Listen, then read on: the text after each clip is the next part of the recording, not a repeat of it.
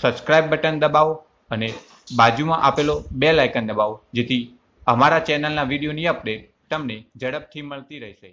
મિત્રો, આજે આપણે પૃષ્ઠફળ અને ઘનફળ વિશે જાણીશું.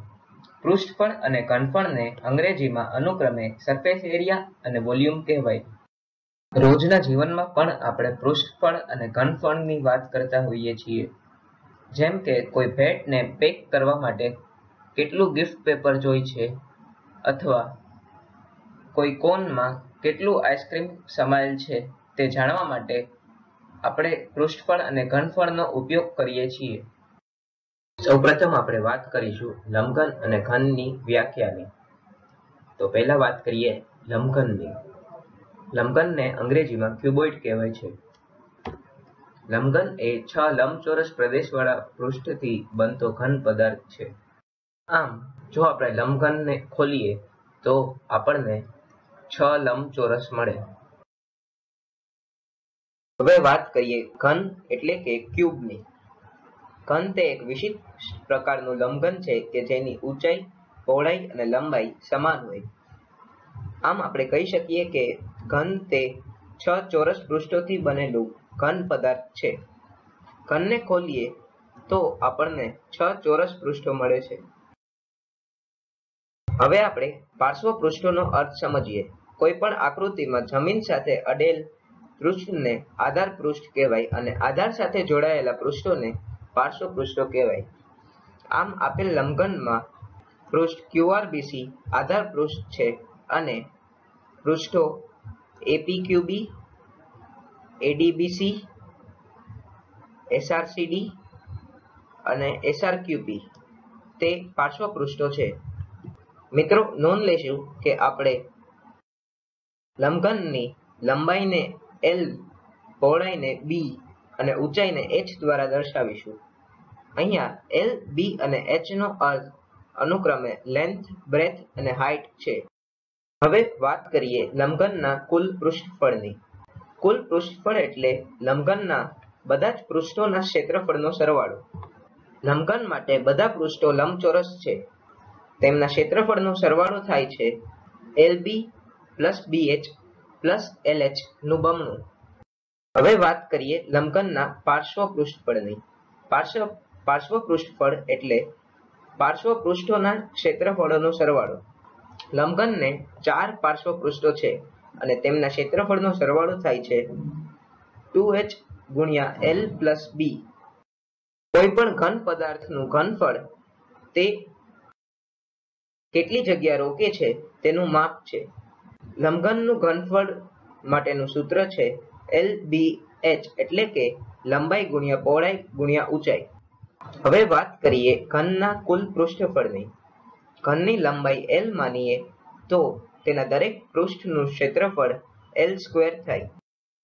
આમ તેનું કુલ પૃષ્ઠફળ સિક્સ એલ સ્ક્વેર થાય. કારણ કે ઘનને કુલ છ પૃષ્ઠો હોય છે.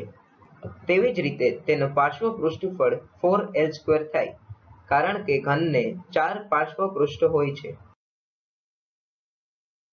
ઘનનું ઘનફળ આપણે લંબઘનના સૂત્ર પરથી મેળવી શકીએ. લંબઘનના સૂત્રમાં આપણે એલ બરાબર બી બરાબર એચ રાખીએ તો આપણને ઘનફળ મળે છે એલ ક્યુબ હવે વાત કરીએ નળાકાર એટલે કે સિલિન્ડરની સિલિન્ડરની ઊંચાઈ આપણે h દ્વારા દર્શાવીશું અને તેની ત્રિજ્યા આપણે r દ્વારા દર્શાવીશું, જેમનો અર્થ અનુક્રમે હાઇટ અને રેડિયસ છે. નળાકારને ખોલીએ તો આપણને કંઈક આ પ્રમાણેની આકૃતિ મળે. તે આકૃતિ બે વર્તુળો અને એક લંબચોરસની બનેલી હોય છે.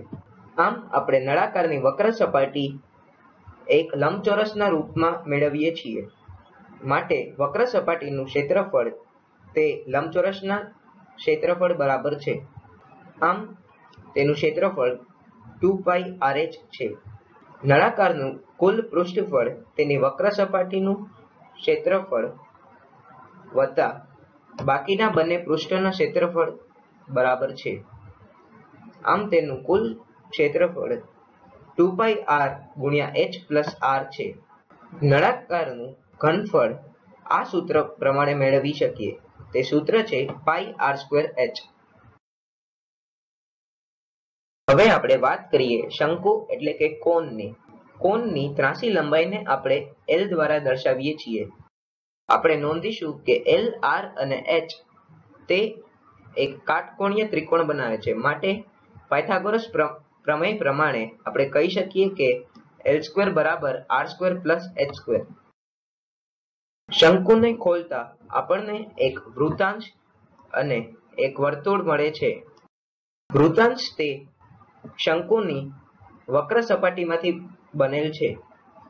આમ, શંકુની વક્ર સપાટીનું ક્ષેત્રફળ તે વૃતાંશના ક્ષેત્રફળને બરાબર છે અને તે છે પાઈ આર એલ શંકુનું કુલ પૃષ્ઠફળ વક્ર સપાટીનું ક્ષેત્રફળ વત્તા આધારનું ક્ષેત્રફળ છે. આધારનું ક્ષેત્રફળ પાઈ આર સ્ક્વેર છે. આમ કુલ પૃષ્ઠફળ પાઈ આર ગુણ્યા એલ પ્લસ આર છે.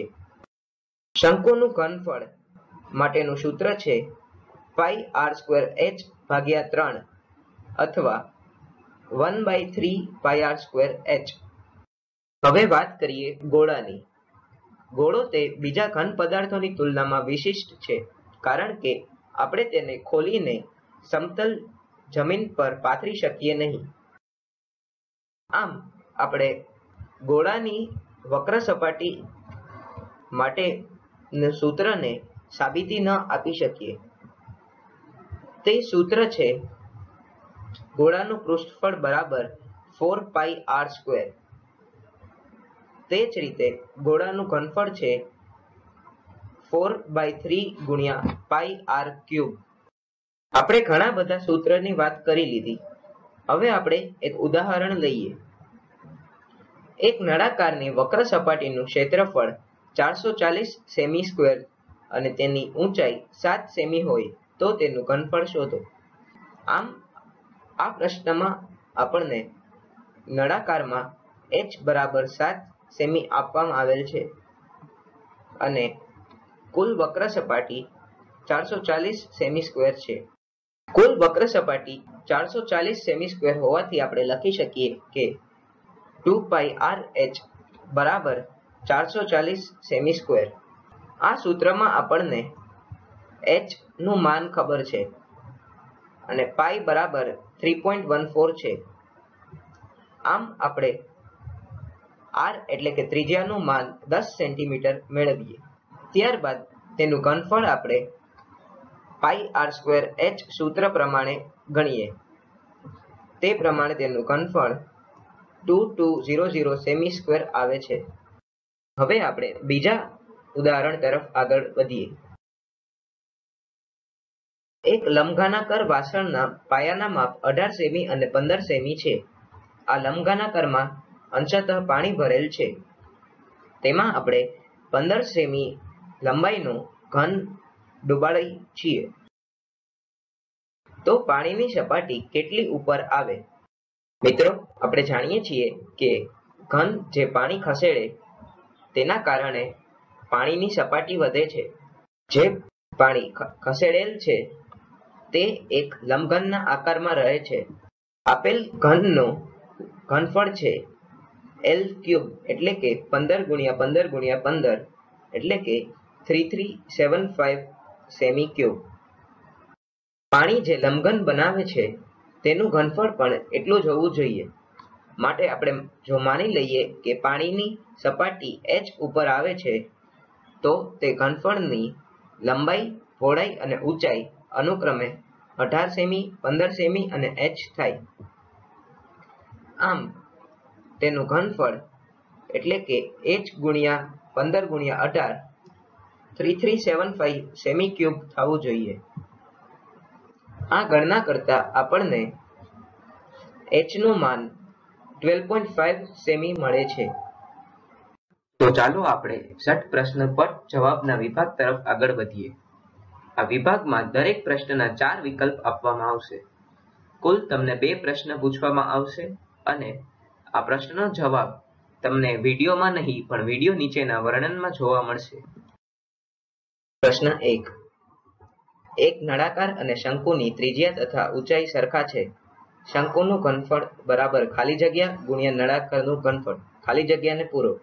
તમારા વિકલ્પો છે A one by four B four C three અને ડી વન બાય થ્રી પ્રશ્ન બે. એક ગોળાને ઘનફળ અને વક્ર સપાટીનું ક્ષેત્રફળ બરાબર છે તો ગોળાની ત્રિજ્યા કેટલી હોય? તમારા વિકલ્પો છે A two B four C six અને ડી